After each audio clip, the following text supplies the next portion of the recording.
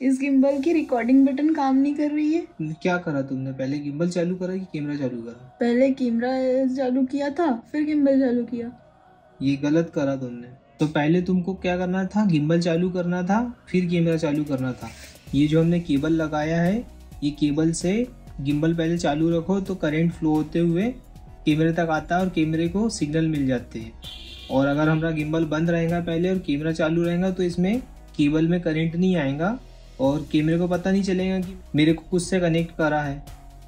तो पहले हमको गिम्बल चालू करना है, ताकि इसमें करंट फ्लो होते हुए आए और कैमरे को पता चले कि इसमें कुछ कनेक्ट के लिए सिग्नल आ रहा है।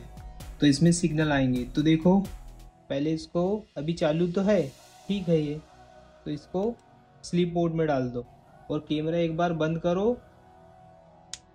ये बंद कर दिया हमने कैमरा और अब कैमरा चालू करो। ये कैमरा चालू हो गया।